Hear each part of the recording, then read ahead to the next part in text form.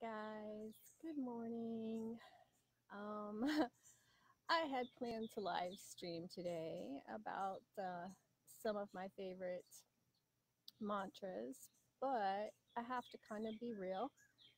I'm in a little bit of an energetic funk, and I think I did this a few weeks ago, but um, someone's mad at me and being empathic if you're a person who's empathic um, you feel other people's emotions and that can be quite unsettling at times. I have learned to control it a lot and to just kind of check in and see if the emotions are mine or not. But when they're not mine but they still are directed towards me sometimes that feels uh, not so good and this month or so, I have been working on, working on sounds so serious, experimenting with in the Gold Life Lab. And even before I started the Gold Life Lab, um, keeping, um, owning my power and my leadership skills and when you start to experiment with something, which is, I tell this to people um, in my classes in the lab, which um, it still has a founders special. So I will put a link. Um, I'm not really talented at doing that while I'm talking, so I'll do it at the end.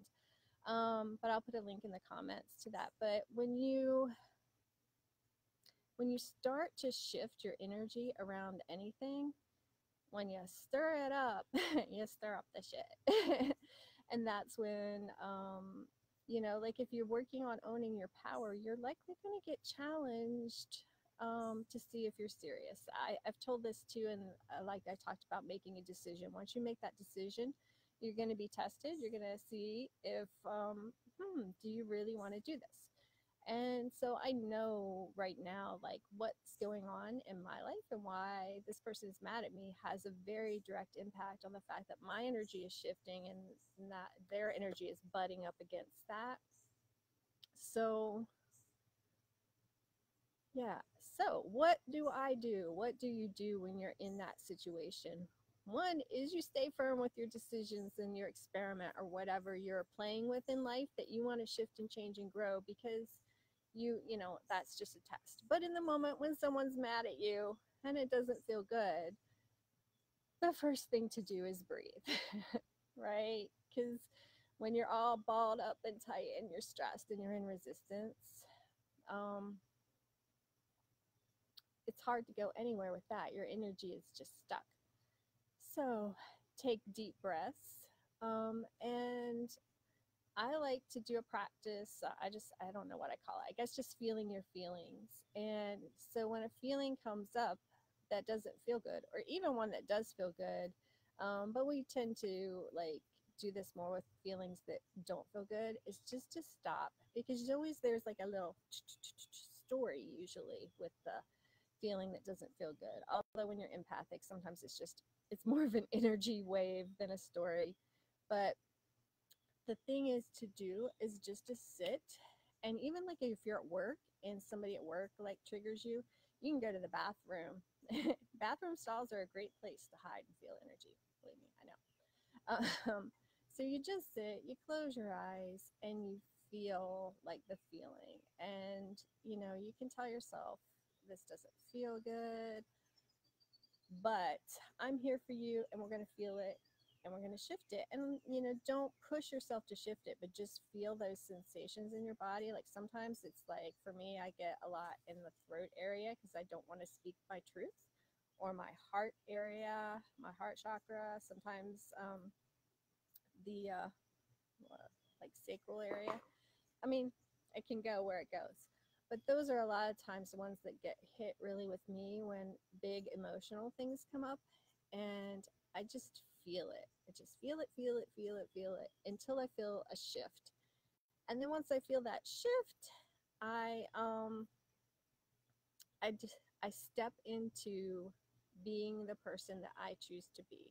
I step into claiming that energy of and right now with me I'm working a lot on leadership and owning my power. So I'm stepping into the me who is already a leader who already has her power Um, so whatever you're working on, you step into that energy of being that person. And I give a lot more detail on how to name that person or that energy um, in the Gold Life Lab. And there's a free class in there called the Three Life Altering Secrets, and that's one of the secrets. Because um, they're not really secret secrets. There's secrets that you create, but um, that I show you how to create. Um, so, yeah, you step into that energy of being who you want to be. And then from that place, there may be something else that you have to do, right? If somebody else is involved, if someone's mad at you or someone is triggering you, you may have to do some communication because I always tell people we have to do the metaphysical action and the physical action. But the physical action is so much easier if you line up your energy first. You're going to get so much better results when you're talking to someone if you have taken that time to step into your energy, breathe, feel the feelings, and then figure out, hmm, what, what is there to do? What is there to do in this situation? Um, sometimes there's nothing, but a lot of times there might be a conversation that you need to have to somebody. Maybe you need to apologize to somebody. Maybe somebody needs to apologize to you, but you can't make that happen. But it's funny how when your energy shifts, I've had this happen so many times, like there'll be just a crazy, crazy thing going on because people outside there, they mirror us. Like the energy that we're putting out, they're going to mirror it back to us. So if we're like shifting like me with all my power and then there's this little voice in the back of my head saying but you're not good enough or um, you know da da da da da. And if i'm still carrying a little bit of that feeling then someone's going to mirror that to me by treating me in a way that makes me feel that they think i'm not good enough. Um, and that doesn't mean that that's okay. You definitely have your boundaries and you definitely communicate that that behavior is not okay. But guess what? It ain't okay when you do it to yourself either. And that's what I have to tell myself. Like, if somebody else is bringing that energy to me, I'm probably bringing that energy to myself. And 99% of the time, if I'm honest with myself and I check in and I breathe and I get through what's going on, I can figure that out. I can figure out where I'm treating myself with that same energy that I don't want to be treated with but I'm treating myself with it. So yeah, therein lies the paradox. I guess it's not a paradox. Paradox is just my favorite word right now. Um, but yeah, it's it's so easy to blame everything on them, them, them out there, but a lot of times it's us. And a lot of times it's not necessarily a bad thing because when you start doing this work, um, spiritual growth work, you got to do it with a light touch. But sometimes, yeah, sometimes it gets crazy and that's okay because sometimes it just has to get shaken up to um, to shift and to change and to be better and so that's me i'm working on that this morning i'm working on shifting and changing and stepping into the energy of knowing that i am good enough and if i'm getting that message from somebody else that i'm not a i work on knowing for myself that i am and really, really believing that, and B, cleaning up that relationship in whichever way it needs to be cleaned up. Um, you know, as I said, boundaries, boundaries, boundaries are good.